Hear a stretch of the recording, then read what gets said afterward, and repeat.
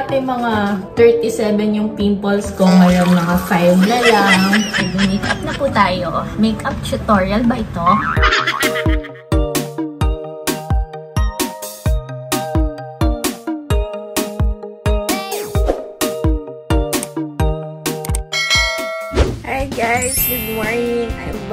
Me, Anghet na walang Anghet. And for today's vlog, ang gagawin natin today is my morning routine. Nakikita nyo, kagigising ko pa lang po. Papakita ko sa inyo kung ano yung mga ginagawa ko tuwing umaga. Welcome to, ano ba to? Anghet's morning routine. Char. a day with, ay hindi pala a day eh. Morning lang eh. Mornings with Anghet. Hindi ko alam ang gagawin ko, pero ah ipapakita ko lang sa inyo yung usual na ginagawa ko every morning. First thing in the morning, syempre, makakailang beses na alarm tayo. Nag-alarm ako actually 5 a.m. Ano na, it's already 5.40 a.m. Lang tunog na yung alarm natin kasi ano naman pag umaga, antok-antok pa. First thing na gagawin natin, syempre pagkagising sa umaga is, syempre didilat. Kunyari tulog pa ako. First thing to do is dilat. Then afterwards, we thank you kay Lord for another day. Then, ayun, babangon na tayo. This is how I look pagkagising.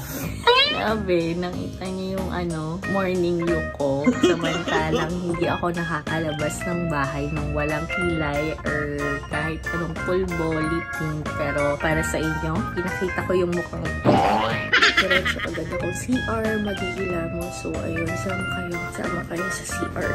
Let's go! So, ayun guys, nasa CR na po tayo. Pwede, maghihilamos na tayo para magising na tayo. Para magising na tayo sa katotohanan. Ayan, basain muna yung face. Then, kunin na natin yung sabon natin. Bale, ito yung gamit kong sabon ngayon.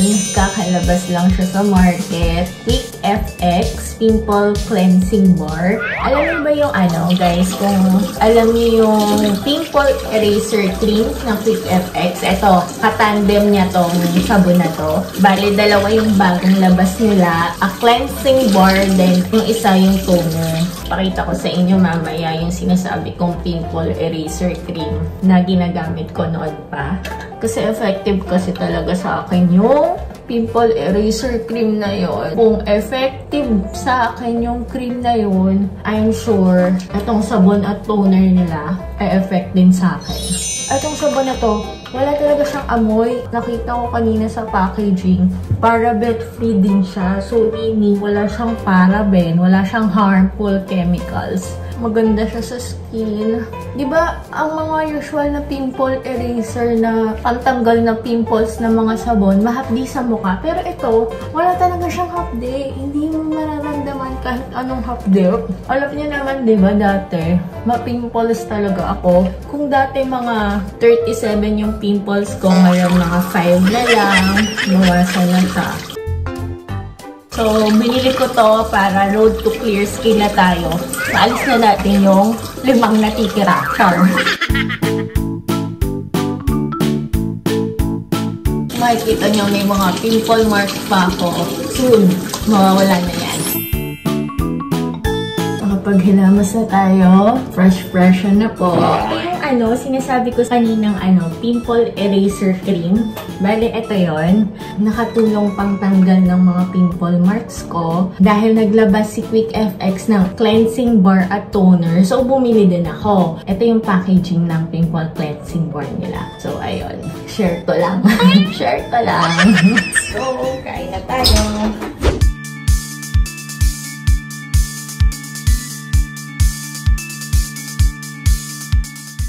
May kape, kailangan may saging.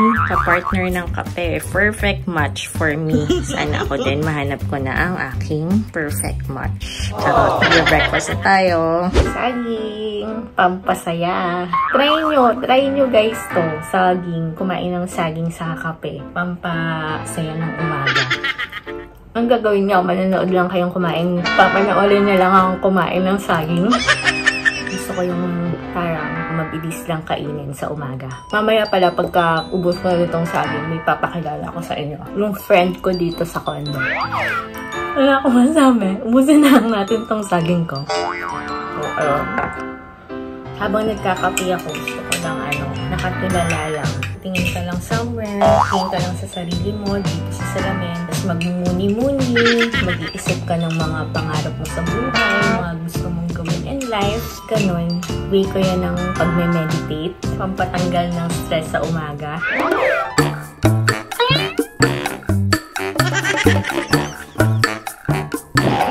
Talaga yung maipapakita ko sa inyo kasi ganito lang kasi yung ginagawa ko every morning. Pagkatapos ko maubos tong kape, maliligo na ako. Babalikan ko kayo pagkatapos kong maligo. Kailangan na natin maghandali kasi malilate na tayo. Let's go! Ay, I'll be back. Paano ba yung ginagawa ng ibang vlogger? I'll be back! Gaganon tatakpan.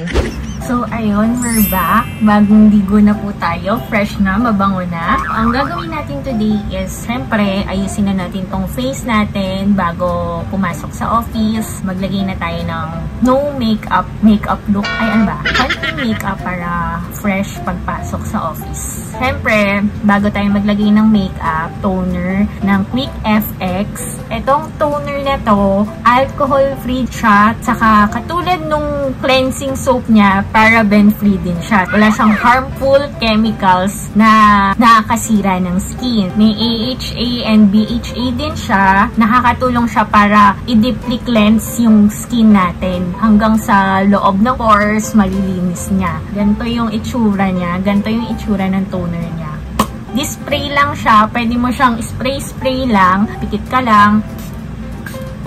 So, ayun, spray-spray lang siya. Hintayin mo lang siyang matuyo. Then, done! Ganun lang kabilis mag-toner. So, after natin uh, maglagay ng toner, ito yung sinasabi ko sa inyo kanina, pimple eraser na alam ko naman na marami sa inyo na nakagamit na nito kasi magaganda yung reviews nito at isa ako sa user nito. Ito yung nakatulong mawala yung acne ko. Nakakatulong din siya makawala ng acne marks. Alam ko, madami sa inyo makaka-relate na nagkakaroon tayo ng acne, tinatawag na maskne kasi 'di ba lagi tayong naka-mask today dahil para safe tayo, required tayong mag-mask. 8 hours, buong office hours naka-mask lang. So imagine yung init habang nagsasalita ka dito lang nakakulob lang sa init. Kung magbi-build up na yung bacteria lahat. So yun yung nagko-cause ng maskne. Kung napapansin nyo before sa mga vlogs ko with Kimpoy, 'di ba ang dami-dami kong pimples. Ayun, lagay lang natin sa mga pimples natin. Kapag okay na, lagay na natin yung usual routine natin na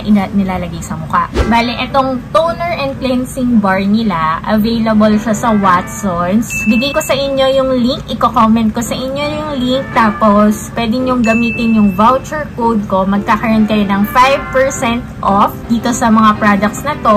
Kung hindi kayo makakapunta sa Watsons, available din naman siya through Lazada and Shopee. May makeup na po tayo. Makeup tutorial ba ito?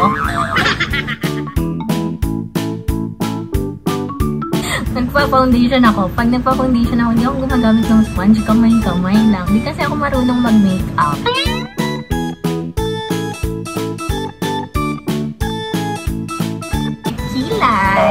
Is life! Now, we're doing the no makeup makeup look.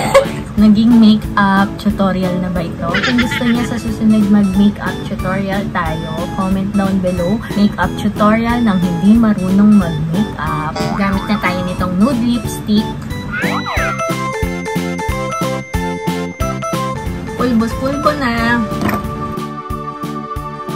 Ayun, we're done. We're done with the no makeup makeup.